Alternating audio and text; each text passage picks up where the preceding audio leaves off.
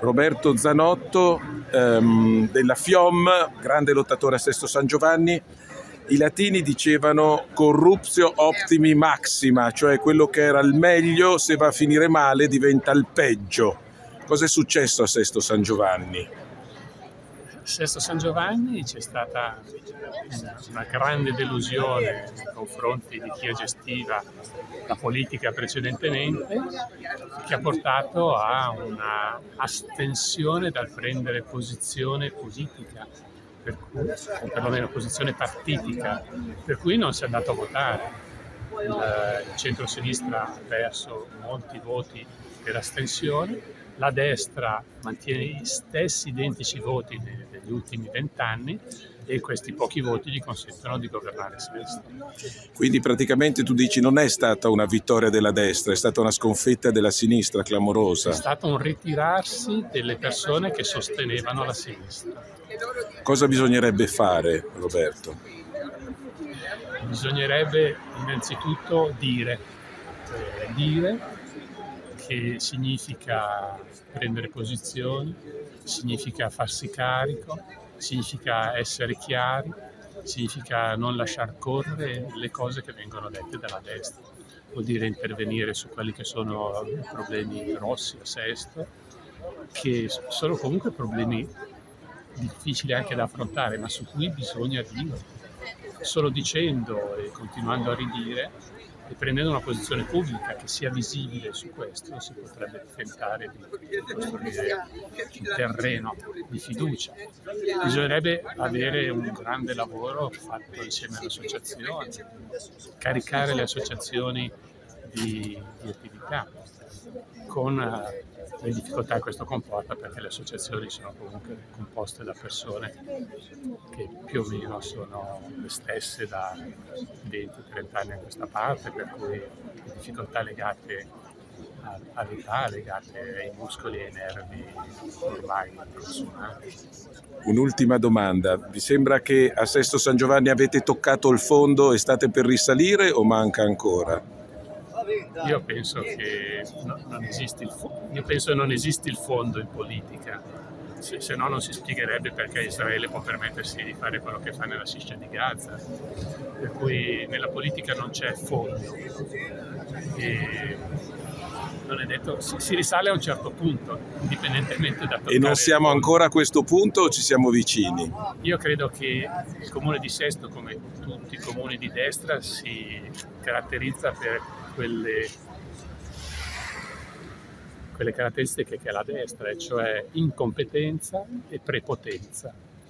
Per cui c'è, c'è fine all'incompetenza e alla prepotenza. No? No, non so se siamo vicini. Io spero che però bisogna in qualunque modo sempre tentare di iniziare a risalire e pensare che si possa risalire. Grazie. Sì. Avvocato Montaldo, siamo a Sesto ancora una volta, ai giorni della Merla e qui si rischia un altro sfratto.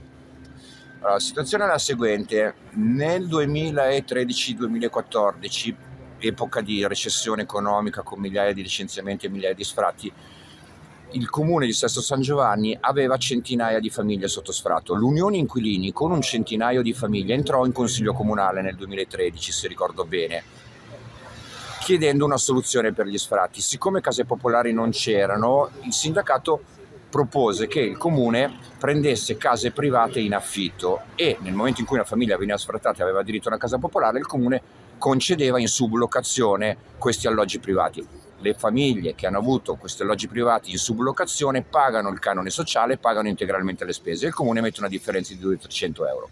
Quando nel 2017 eh, la destra vince le elezioni, uno dei primi atti politico-amministrativi è stato inviare alle circa 80 famiglie che avevano avuto questi alloggi privati delle, dei provvedimenti amministrativi in cui dicevano signori il contratto è scaduto, entro dieci giorni andatevene altrimenti veniamo coi vigili e vi buttiamo fuori. Siccome erano provvedimenti legittimi, il mio studio mh, ha presentato ricorso al TAR e il TAR annullò i provvedimenti amministrativi del comune. Quindi il comune poi andò in tribunale, al tribunale di Monza, chiese e ottenne la convalida di sfratti per finita locazione perché sono famiglie che lavorano, sono mh, mm, quasi tutti eh, cittadini stranieri soggiornanti di lungo periodo che hanno un lavoro, quindi pagano, ma per scelta del comune sono sotto sfratto. La situazione al momento è che abbiamo famiglie che continuano a pagare il canone, che hanno la convalida di sfratto per filtrazioni, abbiamo un comune da atti giudiziari che sfratta i suoi bambini, che sfratta i suoi minori, in una città che ha il poco onorevole record, credo, di condanne giudiziarie per condotta discriminatoria, perché poi queste famiglie che sono in sublocazione sono per lo più famiglie non italiane che sono state discriminate negli anni, negli anni 18-19 per la questione dei certificati esteri che il comune chiedeva per avere assegnate le case popolari. Quindi abbiamo famiglie che sono state discriminate, per le quali il Comune ha preso quattro condanne giudiziarie, due dal Tribunale di Milano, due dal Tribunale di Monza, che ha dovuto pagare i risarcimenti, che poi ha sfrattato per, finica, per finita l'occasione e per concludere il quadro diciamo, di indirizzo politico di questa giunta, gran parte di queste famiglie negli anni passati hanno avuto il dramma di vedersi cancellate le residenze e poi con provvedimenti prefettizi sono state ripristinate. Ascolta, ehm, a questa famiglia forse oggi andrà meglio perché le camionette non ci sono. Un mese fa circa però non è andata così. Settimana scorsa una di queste famiglie in sublocazione è stata sfrattata. Parliamo di cinque minori tra cui un neonato. Approfittando del nuovo ufficiale giudiziario che non lascia i cedolini di rinvio, la famiglia non aveva assegnato il giorno in cui usciva l'ufficiale e si è presentato con eh, il fabbro mh, mm, su richiesta del comune sono stati messi in strada cinque minori. Ricordiamo che pende all'alto commissario per i diritti umani dell'ONU un uh, ricorso per un'altra famiglia e il comune gli rinviò lo sfratto per non fare la brutta figura, perché è violazione dei diritti umani mettere in strada dei minori senza una soluzione. Cosa succede a queste famiglie se lo sfratto avviene? A queste famiglie succede che finiscono in strada senza nessuna protezione sociale da parte dell'amministrazione comunale. Eh, più di un anno fa la famiglia del signor Mohamed è stata sfrattata da una famiglia in sublocazione e il comune non ha offerto né una comunità né un albergo né un residence né nulla, in palese violazione della Convenzione ONU sui diritti del fanciullo e di ogni regola anche di umanità e di buonsenso. Cioè abbiamo un'amministrazione che a differenza di altri comuni anche di destra non ha approntato alcuna misura emergenziale per non lasciare minori in strada. Quindi se vengono sfrattati i minori rimangono in strada senza nessuna protezione sociale. Oggi fa un gran freddo ma il presidio c'è, sono importanti i presidi.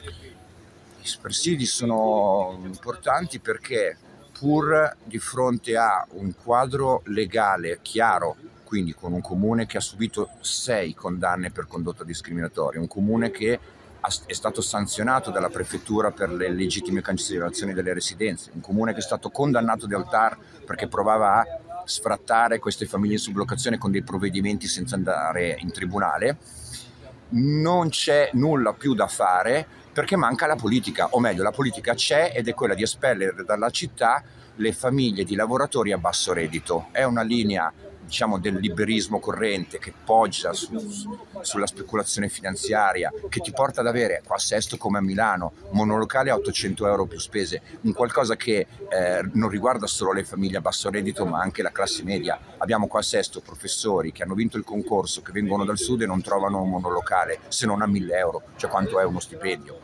Quindi i presidi sono indispensabili perché altrimenti l'ufficiale arriva con il fabbro, con il dipendente comunale e mette in strada i bambini con buona pace del buon senso, dell'umanità e del diritto.